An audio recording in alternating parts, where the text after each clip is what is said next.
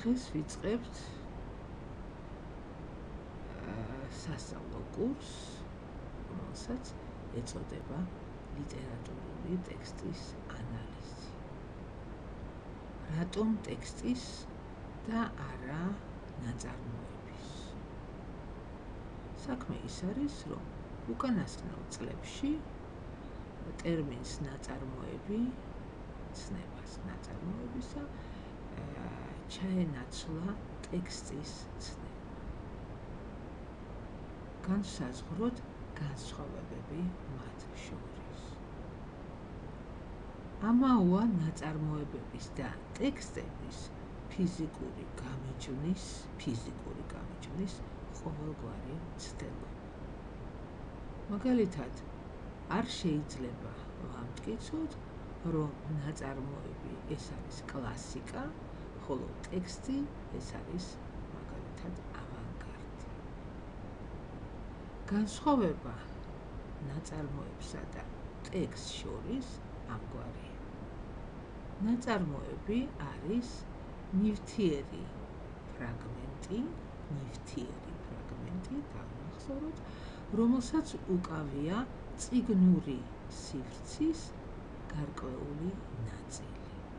მაგალითად, ბიბლიოთეკაში. ტექსტი კი არის მეთოდოლოგიური ოპერაციების, ანუ ანალიზის მეთოდოლოგიური ოპერაციების, ანუ ანალიზის ველი.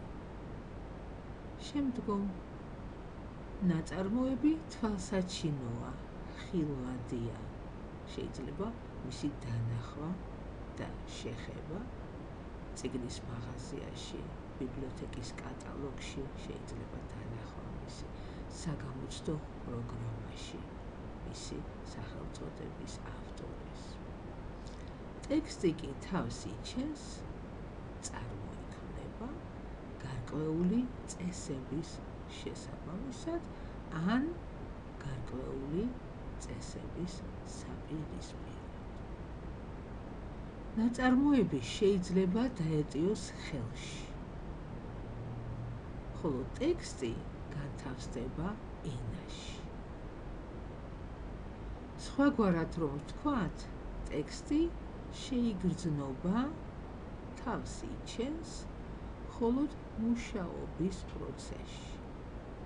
ხოლო როდესაც ის წარმოგვიდგება როგორც სისტემა, როგორც ურთიერთდაკავშირებული ელემენტების სიმრავლე, რომელიც გამოყოფილია გარემოსგან და ურთიერთმოქმედებს ამ გარემოსთან, როგორც მთლიანი.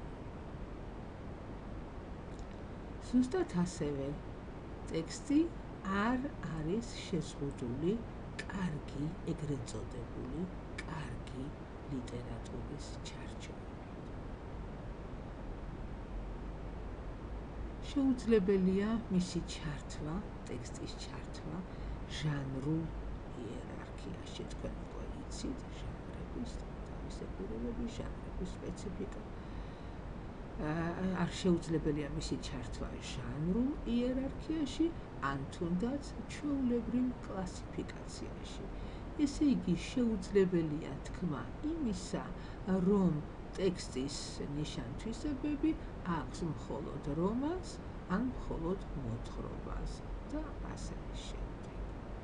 პირიქით, ტექსტისთვის განსაზღვრელია სწორედ ძველი რუბრიკების, ძველი დეფინიციების დანგრევის უნარი. შემდგომ ტექსტისთვის დამახასიათებელია მრავლობითობა. ტექსტის მრავლობითობა გამოწვეულია იმით, რომ ლიტერატურაზე თანამედროვე თვალსაზრისის თანახმად ტექსტი თლიანად მოქსოვილია ციტატებისგან, მინიშნებებისგან, გამოძახილებისგან. ყოველივე ეს არის კულტურის ძველი და ახალი ენები, რომლებიც მსჭვალავენ ტექსტს. ყოველგვარი ტექსტი არის ამავე თვალსაზრისით ინტერტექსტი, რომელიმე ანუ შორისი ტექსტი. ინტერტექსტი, ანუ შორისი ტექსტი, რომელიმე სხვა ტექსტის მიმართ. ტექსტი წარმოიქმნება ანონიმური მოუხელთებელი და ამასთან უკვე წაკითხული ციტატებისგან, რომლებიც მასში მოცემულია ნებისმიერ ტექსტში მოცემულია ბრჭყალების გარეშე. ასევე აქსიომად მიიჩნევა ნაწარმოების კუთვნილება ამა თუ იმ ავტორისადმი. ავტორი აღიარებულია თავისი ნაწარმოების მამად ბრჭყალებში და მე პატრონეთ ასევე ბრჭყალებში. ამიტომ ლიტერატურად მცოდნეობა გვასწავლის ავტოგრაფისა და ავტორის პატივისცემას.